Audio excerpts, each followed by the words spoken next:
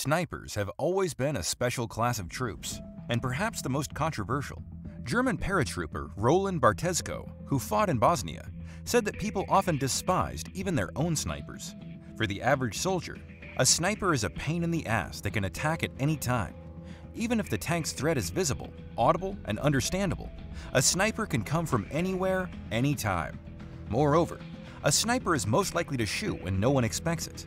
That's why they are disliked but the ability to hit targets from great distances is impressive to all. Today we will do something unusual.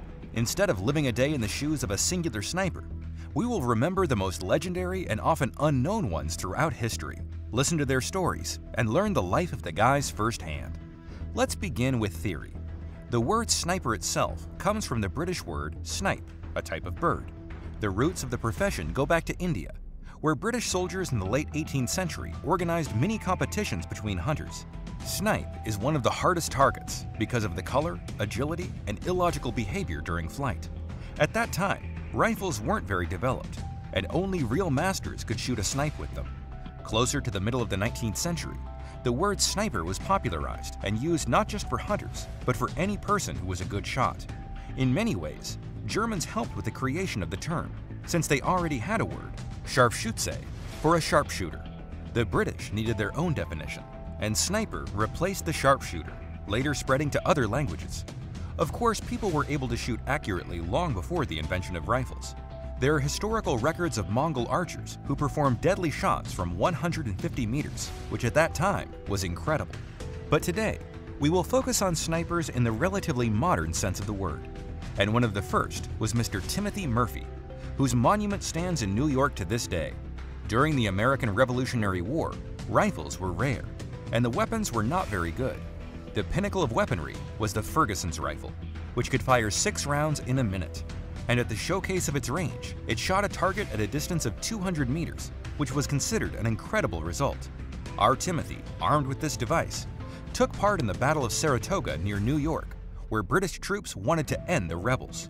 Among 500 elite gunmen, Timothy brought the first significant victory to the supporters of independence and made it onto the pages of history books by killing two British commanders at once.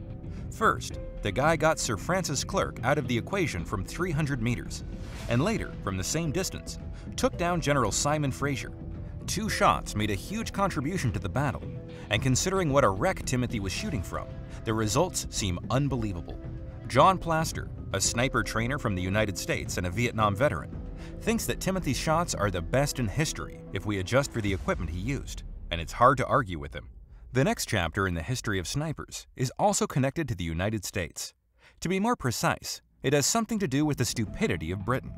During the Crimean War in the mid-19th century, a British gunsmith, Joseph Whitworth, noticed that many soldiers tried to attach glass to their rifles in order to make their task easier. The guy developed an incredible rifle and named it after himself. At a presentation in 1860, Queen Victoria hit the bullseye from a distance of 400 meters, and professional shooters hit the target from 800, which in comparison with our last guest was revolutionary. However, Britain refused to adopt the Whitworth rifle. The disappointed guy sold it to France and the US Confederate Army, and during the Civil War, snipers armed with Whitworth rifles went on a killing spree. Generals John Reynolds, John Sedgwick, William Little, and many other senior officers were killed by bullets fired from insane distances. Sedgwick, for example, was taken down by an unnamed sniper from 910 meters. It's funny that before he died, John said that the opponents will not be able to hit an elephant from this distance. Eventually, the British will start using snipers, but during World War I, they will embarrass themselves again. The legendary German Mauser and traditional German military genius will enter the stage. The Germans realized that in the conditions of trench warfare, it is advantageous to have snipers who will strike the fools who stick out. At first, the British and French blamed the losses on random shots, but later realized that they also needed snipers. But the Canadians did it best. Armed with Ross rifles with Canadian-made optics, the guys did a lot of damage during World War I. Philip MacDonald shot 70, Henry Norwest killed 100, and Francis Pegahmagabow got 378. He holds the record for confirmed kills during World War I. However, it is worth noting that Germans had more snipers, and in general, they can be considered winners in a sense. And the winners of the competition for the best rifle were the Brits. Their new Lee Enfield rifle is considered by many historians to be the best device ever. Multi-loading, excellent optics, and incredible accuracy were the key to its success, and the rifle was actively used for 100 years. But the real pinnacle of the sniper era was World War II. If snipers were still a novelty during the first one, now the technological progress and the fact that it was the largest conflict in history brought the art of elimination to a new level. As a matter of fact, it all started a little earlier, with a guy named White Death. Finnish sniper Simo Häyhä was a real pain for the Red Army during the Soviet-Finnish War of 1939 through 1940. Since childhood, Simo stood out for his excellent shooting, and in just three months at the front lines, he made history. Using a modified Mosin rifle, which the Finnish remade, the guy, according to various sources, has made around 505 to 542 successful shots.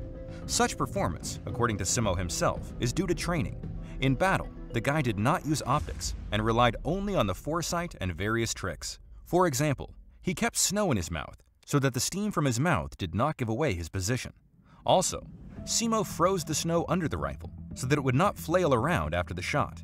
It is worth noting that the Finnish sniper's record is mercilessly criticized because unlike most shooters, Simo's numbers are based only on his words. But still, in terms of effectiveness, this is one of the most skilled snipers in history.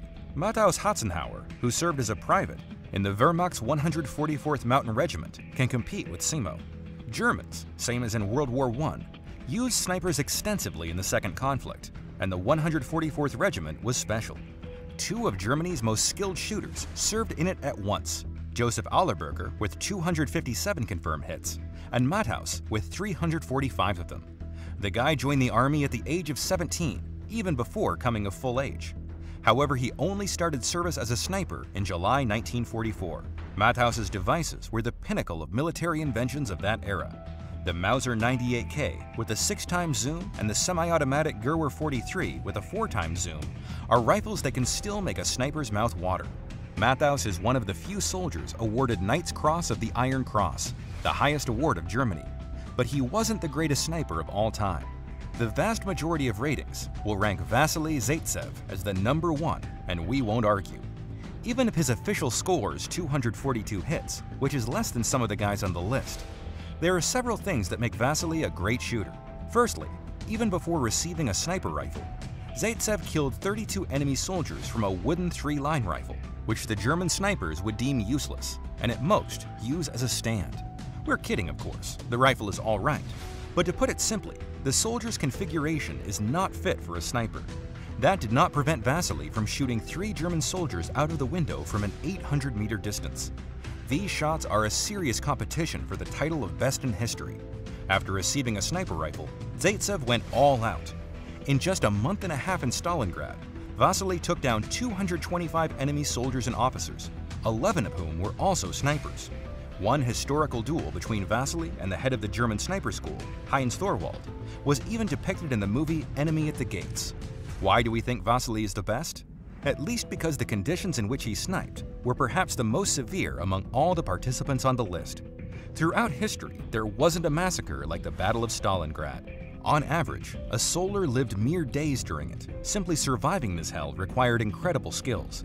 And Vasily not only survived, but was able to shoot and remain unnoticeable. That takes mad skill.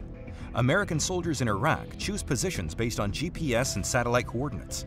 But it took a predatory instinct to choose a position in Stalingrad, which Vasily had, no doubt about it. And if all that wasn't enough, he fired a rifle with a 4x scope, and Heinz Thorwald, for example, had a 10x scope, genius of German engineering. In our day and age, the art of sniping is brought to the cosmic level, and if we don't take into account circumstances, modern snipers achieve insane results. Guys from Texas Hill Country Rifle hit a target with a 90 centimeter diameter from a distance of 3,475 meters with 90% accuracy. In combat, an unnamed Canadian sniper shot a target from a distance of 3,540 meters using a McMillan TAC 50 rifle. But still, times have changed, and this is a competition of modern engineering more than pure skill. This is where we'll end our dive into history. We hope you enjoyed it. See you later, friends.